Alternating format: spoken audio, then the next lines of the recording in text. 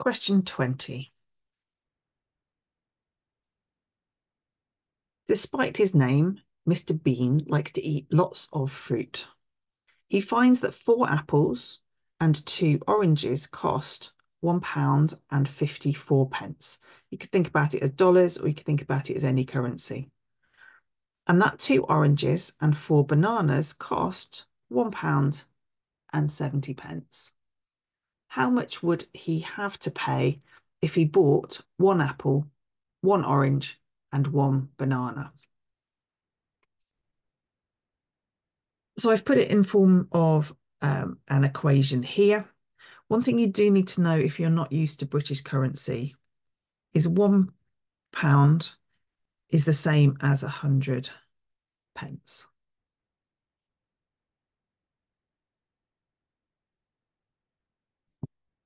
So I've got two um, equations just here. One and two. What we are doing is we're going to add these two together. So we're going to add all the terms on the left and all the terms on the right.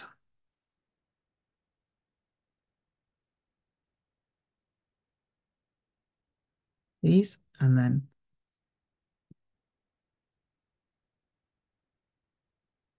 one fifty-four, add one seventy. We add all the terms up.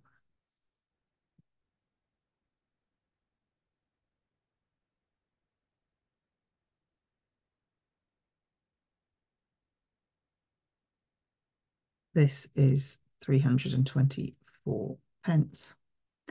And therefore, if we divide by four, we get apples, oranges, and bananas.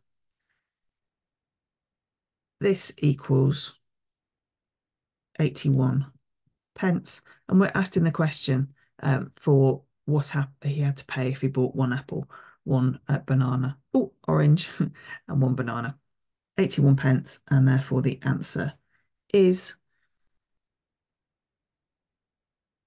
E. Sorry about that.